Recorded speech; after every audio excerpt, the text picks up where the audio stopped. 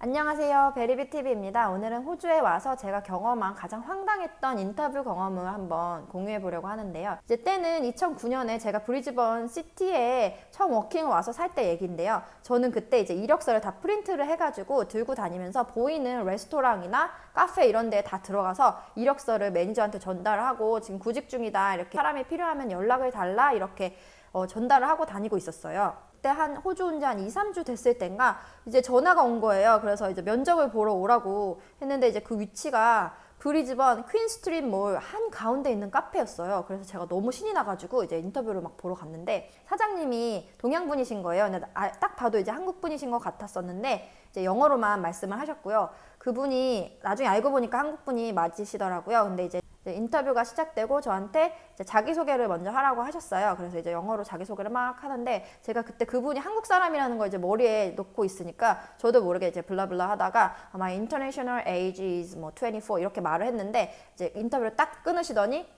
거기서 왜 international age라고 말하냐고 막 너의 에이지를 말하면 된다 이렇게 말씀을 하시는 거예요. 또 분위기가 이제 대기업 압박 면접 분위기가 된 거예요. 자기소개가 끝나고 이제 종이를 한 장 꺼내시더니 거기에 단어 4개를 적으셨어요. 근데 영어로 단어 4개를 적으셨는데 그때 spider, MSG 그리고 메럿 하고 마지막 게 하나 기억이 안 나요. 너무 어려운 단어여서 제가 기억도 못하는 단어였는데 그 단어 이렇게 네 개를 적으시더라고요. 적으시더니 저보고 그걸 설명을 하라고 딱 말씀을 하시는 거예요. 그래서 제가 아, 이걸 어떻게 하지 하면서 이제 설명을 했는데 그때 제가 제일 처음으로 MSG는 그래도 아니까 MSG를 막 설명을 했어요. 이거 MSG 뭐 artificial ingredient 어쩌고 저쩌고 막 말도 안 되게 설명을 하고 그 다음 단어인 제가 스파이더를 보고 한참 생각하다가 Do you want me to explain the crawling insect? 하고 물어봤더니 그분이 저한테 내가 지금 너한테 곤충을 물어보겠냐 하면서 되게 기가 차다는 듯이 인상 확 쓰시면서 그렇게 말씀을 하시는 거예요. 그래서 제가 너무너무 당황을 해서 어, I'm sorry but I don't know any other meaning of the spider 뭐 이렇게 하고 그냥 넘어갔어요. 그리고 나머지 단어 두 개도 전혀 모르겠는 거예요. 그래서, 그래서 제가 그것도 나머지도 그냥 모른다고 죄송한데 저 모른다고 그냥 그렇게 말씀을 드렸어요.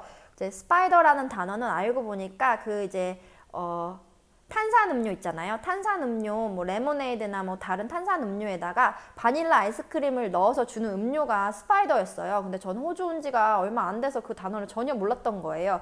그리고 나머지 메럿이랑 그 제가 기억도 안 나는 그 한 단어 있잖아요. 그것도 카페에서 쓰는 그런 단어였어요. 그분이 하시는 말씀이 이 메럿은 이제 와인의 한 종류다. 저, 거기는 이제 술도 있기 때문에 너가 술의 종류도 다 알아야 한다 이렇게 말씀을 하시는 거예요. 그 다음 질문이 뭐였냐면 그분이 저한테 너 뉴스페이퍼 읽냐고 이렇게 말을 하시는 거예요. 근데 제가 그때 호주 온 지 2, 3주 되고 막 정신없이 있을 때라 무슨 호주 신문을 읽을 그런 정신은 하나도 없었어요. 그래서 제가 어, 대답을 한답시고 한 게 이제 제가 길에서 나눠주는 제가 그때 대답을 한다고 한 게 아 창피해. 그때 제가 대답을 한다고 한 게 이제 free magazine 이제 길에서 나눠주는 이제 잡지 같은 거 있거든요. 이제 그 제가 그거는 읽는다고 말씀을 드렸어요. 그랬더니 그분이 그거는 신문이 아니지 않냐. 그럼 저한테 prime minister가 누군지는 아냐 이렇게 하면서 물으시는 거예요. 그때는 제가 이제 멘탈을 이렇게 가출을 해서 아마 그때 저희 할머니 할아버지 이름을 물어봤어도 대답을 못했을 것 같아요. 기억이 안 났을 것 같은데 이제 아무튼 그래서 제가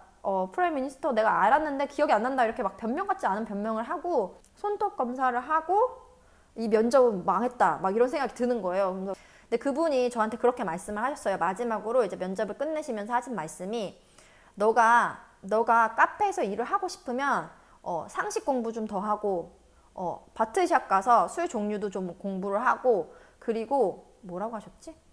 커멘트에서 좀 너무 슬펐던 거는 너는 코리안 액센트가 강하기 때문에 그 액센트를 없애고 오라는 거예요. 근데 그건 제가 어떻게 할 수 있는 부분이 아니잖아요. 제가 그 말을 듣고 이제 그 마지막으로 그분께 말씀드렸던 거는 I'm a fast learner. I'm willing to learn anything for this job. 뭐 이런 식으로 말을 했는데 좀 그때는 이미 다 틀렸어요. 이제 뽑힐 거 생각도 안 했고 그냥 제가 너무 바보처럼 보여진 게 좀 저도 자존심이 상해서 이제 그런 식으로 이제 마지막으로 마무리를 짓고 이제 그분은 이미 이제 쌩한 표정으로 어 알았다. 이제 너가 면접을 통과했으면 내가 전화를 줄 거고 아니면 연락이 안 갈 것이다 이렇게 했는데 어, 연락은 당연히 안 왔겠죠. 제가 너무 바보같이 이제 했으니까. 한 20분 정도 된 그 인터뷰가 끝나고 제가 퀸스트리트에 이렇게 덜썩 주저앉아가지고 거울을 봤는데 제 얼굴이 빨갛더라고요. 당황한 상태로 면접을 봤다는 그런 얘기겠죠. 어쨌든 저한테는 너무 정말 어, 약간은 자존심이 상하고 너무 창피했던 그런 인터뷰였어요. 첫 인터뷰였기 때문에 제가 그게 거의 트라우마로 남아서 어떤 인터뷰로 가도 이제 그 생각이 막 나면서 가게 되는 거예요.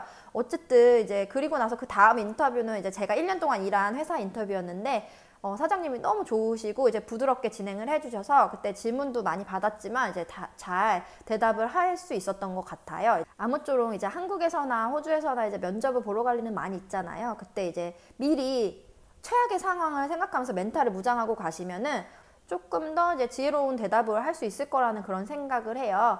이 인터뷰가 여러분께 조금이라도 도움이 되셨다면 좋겠고요. 어, 저는 앞으로도 제 이야기 많이 올릴 테니까 구독을 안 하신 분들은 구독을 해주셨으면 좋겠어요. 그리고 요즘에 제 얼굴이 되게 환해졌다고 말씀을 하시는데 제가 요즘에 창문에 이렇게 붙어서 뒤에 이제 배경을 놓고 영상을 찍고 있어요. 그래서 제가 지금 하늘이 너무 예뻐서 이제 하늘 좀 보여드리고 영상을 마치도록 할게요. 제가 하늘, 하늘이 이렇게 예뻐요, 지금. 이렇게 환한 창문에 앉아가지고 제가 영상을 찍기 때문에 어, 얼굴이 좀 환하게 잘 나오고 있어요. 하늘 참 예쁘죠, 오늘. 아무쪼록 오늘도 시청해주셔서 너무 감사드리고요. 오늘 이야기는 여기까지 할게요. 너무 감사드립니다.